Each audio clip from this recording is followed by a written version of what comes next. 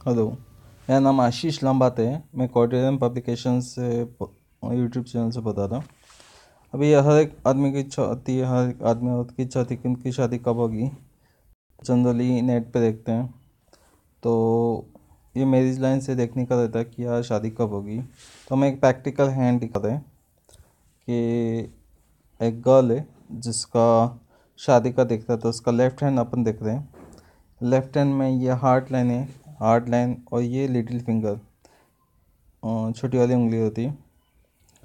तो इन दोनों के बीच में जो लाइन होती है, इसको मेरिज लाइन बोलते हैं। तो अब इसको एनालिसिस कर रहे हैं आज। तो आप भी इससे सीख सकते कि आपकी एज कब होगी। तो आप पहला देख रहे हैं यहाँ पर चार लाइन से पहला, दूसरा, तीसरा, चौथा। चार मेरिज लाइन है इस केस में। तो आप ये देखेंगे तो गौर से देखेंगे तो ये फ़र्स्ट लाइन है कि ये बहुत छोटी आएगी। अब देखेंगे तो बहुत छोटा आएगा। तो उसका डिस्टेंस आप यहाँ से देखेंगे तो यहाँ से यहाँ तक। तो उसको ट्वेंटी फोर ईयर्स है ना? चौबीस साल की उम्र में उसको शादी के लिए प्रपोज़ल आया था, लेकिन किसी कारण से प्रपोज़ल कंप्लीट ने एक्सेप्ट नहीं हो पाया। तो वो कैंसिल हो गया। फिर उसके बाद ये सेकेंड लाइन है, जो कि इससे भी बिग है। तो इसकी बिग लाइन है। अब देखेंगे तो इसको वापस से थर्टी फोर ईयर्स में वापस से एक प्रपोजल आया था। और प्रपोजल उसको फुलफिल नहीं कर पाया। देखिए इसकी लाइन भी सेकेंड बार भी इसका प्रपोजल फुलफिल नहीं हुआ। अब थर्ड लाइन देखेंगे तो के ब्रेक के बाद यहाँ पर आगे चलती है। ये लाइन बहुत बिग हैगी। लेकिन इसको फोर्टी फाइव एज में भी एक प्रपोजल आया, वो भी फुलफिल नहीं आया। अभी आप ये देखेंगे कि ये छोटी लाइन है, बहुत ही छोटी लाइन है, बहुत आगे। तो फिफ्टी टू ईयर की एज के आसपास उसको फिर से प्रपोजल आया। उसकी शादी तो ये पहला हाथ आप देखेंगे कि इसमें चार चार लाइन है। चार चार शादियों की लाइन है। उसके बाद भी उसकी शादी नहीं हो पाई।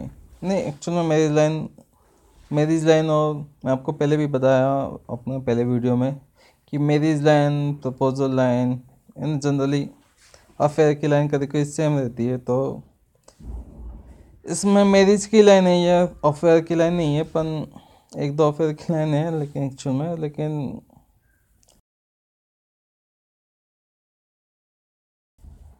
अभी आप जब कुंडली को भी देखना पड़ता है, जैसे हाथ के अलावा आपको इसमें कुंडली भी देखनी पड़ती तो जब अपन कुंडली वगैरह देखते तो उसमें कुछ प्रॉब्लम थी इसकी कुंडली में। तो अपने को इसमें मालूम चलता कि, कुंडली देख के मालूम चलता कि इसकी शादी में क्यों प्रॉब्लम आई। इसकी शादी क्यों नहीं हो पाई? भी आप देखेंगे तो इसमें बहुत ही प्रॉब्लम हो गई थी इसकी कुंडली के कारण तो इसकी शादी नहीं हो पाई। तो अधिकतर आप कभी भी एनालाइज करें खुद का हाथ भी तो कुंडली भी ज़रूर देखिएगा, क्योंकि इससे आपको सही प्रिडिक्शन मिलता है। अकेले हाथ से नहीं होता। यदि आप भी चाहते हैं कि आपकी भी शादी कब होगी मालूम करने का है तो आप भी नीचे हमने एक ईमेल आईडी दिया हुआ है, आप आपका date of birth time of birth place of birth दे सकते हैं। और हम आपको कुंडली के हिसाब से वो आपका जैसे बॉय है और गर्ल होगी तो लेफ़्ट का अधिकतर हमारे यहाँ बहुत सारे लोग देखते रहते हैं।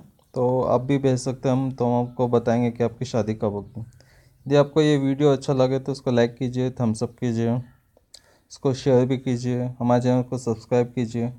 हम कंटिन्यूस ऐसे वीडियो हमारे कस्टमर्स के वीडियो आपको दिखाते रहेंगे तो आप भी आपका करके सीख सकते हैं।